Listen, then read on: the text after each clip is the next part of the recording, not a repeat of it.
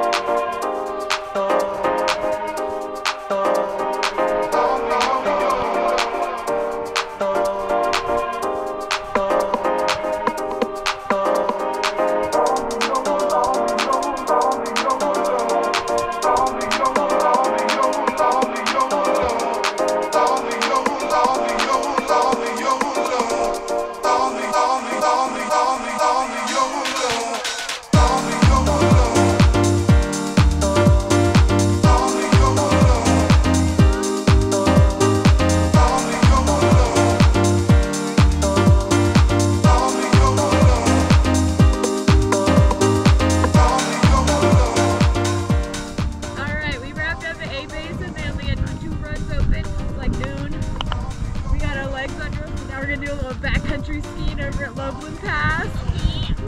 We've never done this before, so we're just gonna follow others down. and then we're gonna have to hitchhike up, but this is gonna be sick!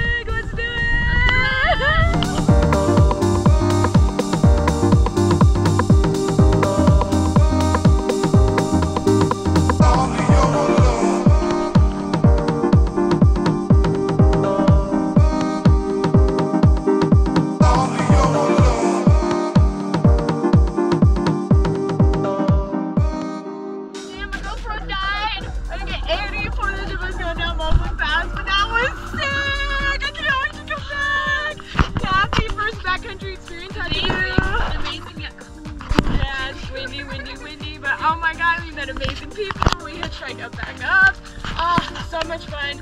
Great day overall. First time skiing for the season. Yes. Nice job. okay, everyone, I'm gonna give, give you a recap now that I'm back home. A Basin was great today, but I will say, since I had to pay for a single day pass since it's I don't have a pass, um, Arapahoe Basin's on the Ikon Pass, and uh, since I had to pay for a full day pass, I'll say that the two runs that were open really weren't worth the money, I'll be totally honest. Um, hopefully, though, more runs will be opening soon. It's November 18th today, so it's the week right before Thanksgiving break.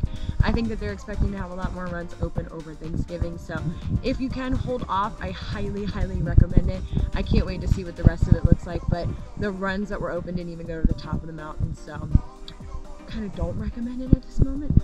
But Loveland pass was incredible. I have never gone backcountry skiing before and it was relatively easy. It was a little steep, but I'll say we've gotten more advanced in our skiing, so I felt pretty comfortable doing it and my friend Cassie's a pretty good snowboarder, so we had no problems, but I hate that my GoPro died. I didn't get a single video from Loveland Pass. Um, so if anybody has any advice on how to keep my GoPro warm and how to keep my batteries charged longer, I would greatly appreciate it because same battery right now is saying 86%, but yet wouldn't turn on on the mountain because it was too cold. So keep my batteries like in my socks, in my, try to keep them warm, but of course when the camera's out in the cold, it dies really fast. So if anybody has any advice on how I can keep these batteries going longer, I'd greatly appreciate it. I've got a GoPro 10, maybe I just need to upgrade it or something, but uh, if anybody's got any advice, please let me know. I also want to say that these PondoZ ski protectors that I got are awesome. I now have over my bindings too. Um, it was really nice when we were throwing stuff in and out of the cars, especially when we hitchhiked and I threw stuff in somebody's trunk. It was really cool to know that my stuff was protected. So just wanted to give a little update, share about that, because those are two things that um, I really am enjoying. And those PondoZ ski um, protectors are something brand new I just got. This is my first time using them, so I highly recommend them. Definitely reach out and look out for their products. So it's going to be another great ski season, and I absolutely cannot wait to get out and hopefully get more footage, go back to Loveland Pass, maybe actually fly my drone once or twice. So it's going to be sick. I can't wait. It's just getting started.